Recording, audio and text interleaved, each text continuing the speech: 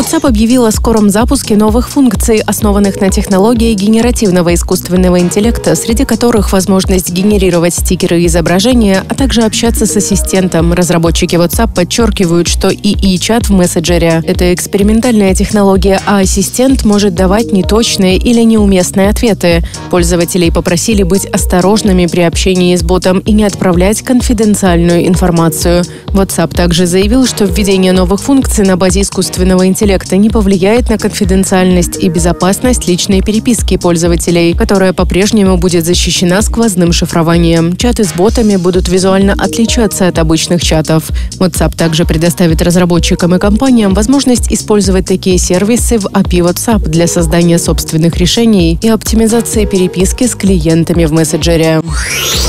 Анкер представила новый робот-пылесос X8 Pro. Главной его фишкой стала функция автоматического распутывания волос и шерсти домашних животных на своих щетках. Модель по-прежнему умеет мыть, но теперь использует для этого вибрирующую швабру. Пыль с пола собирается с помощью двух турбин.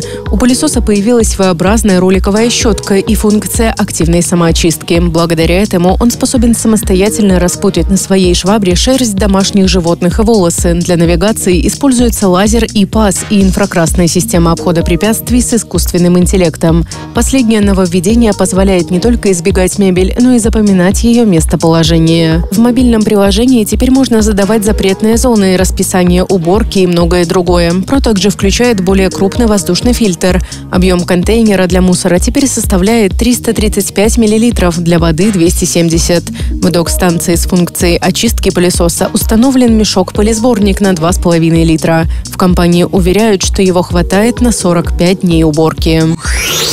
У пользователей Windows появится возможность попробовать новые игры без их загрузки и установки на компьютер. Это станет возможным благодаря новой функции «Мгновенные игры», которая появится в рамках следующего обновления Windows 11. Это новый опыт, который позволяет запустить любимые игры прямо из Microsoft Store Windows. Позже в этом месяце корпорация также обещает изменить механизм работы Microsoft Store.